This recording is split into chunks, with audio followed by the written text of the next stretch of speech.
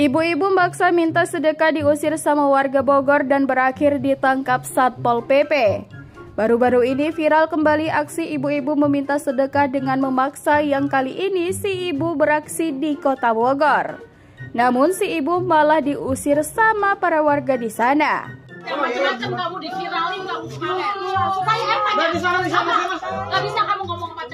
Karena diketahui si ibu sempat dikasih sama seorang warga uang 50 ribu untuk pulang. Namun si ibu maksa minta 1 juta. Dan karena ngelunjak dan juga meresahkan, ibu itu pun dibikin tak berkutik saat gantian dimarahin dan bahkan diusir paksa sama para ibu-ibu di sana. Makanya sekarang ibu Ngapain sih kamu yang banyak di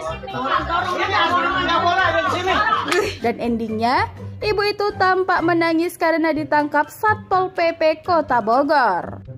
Udah udah